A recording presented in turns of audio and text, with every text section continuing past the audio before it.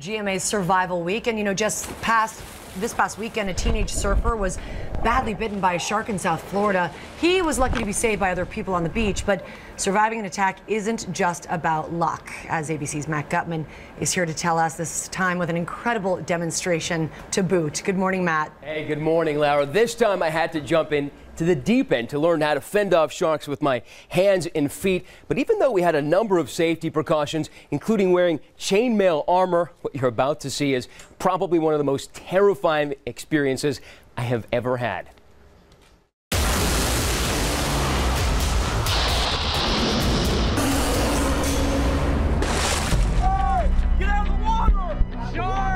This is the terrifying moment a great white attacked swimmer Steve Robles just off a Los Angeles beach during an early morning swim. You could just hear everything crunch. I was staring at this shark eyeball to eyeball. Robles says he jabbed the shark's nose hard, and luckily it let go of him. It was the most frightening thing anyone could ever experience.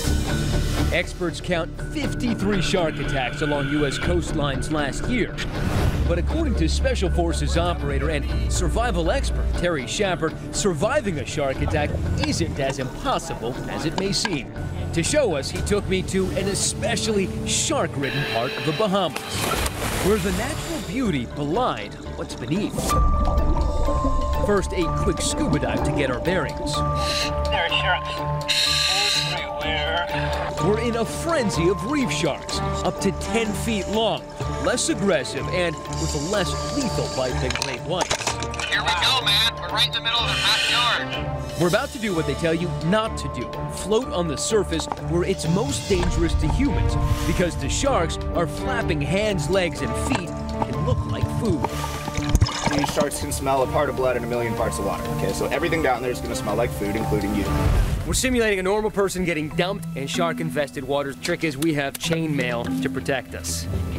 Don't try this at home. Ready? No. Off we go. Gallantly, I let Terry go first. Ah! I just landed on one. They are just bumping us right and left. And it's in the midst of this school of 25 sharks that my lesson begins. Whether it's great whites or reef sharks, Terry says the advice is the same. So let's try to skip back to back. Now we're linked arms. link. Now we got each other for protection. But if we're on top of the water thrashing, Yep.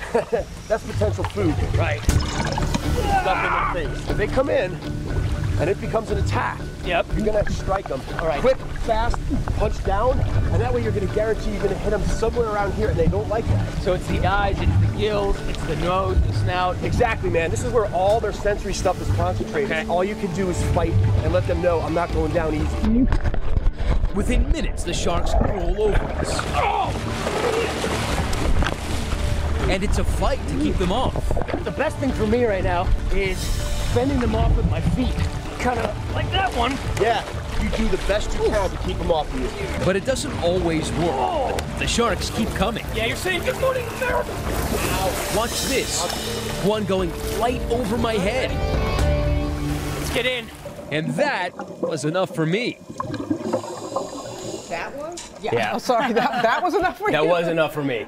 Sharks don't eat people. Uh, most of the attacks we've seen are cases of mistaken identity. Sharks often mistake hands and feet. Uh, they don't have hands, so they use their mouths to taste things. So, you know, what's remarkable about this is that they didn't bite us. I mean, we're in the water. We gave them every opportunity to chomp on us, and they're smart enough to know, laughter here, smart enough to know the difference between fish and friend and man and Was there a point where you were just like, what am I doing? The, the whole, yeah, the entire endeavor was. I let Terry go first. I really didn't want to jump in.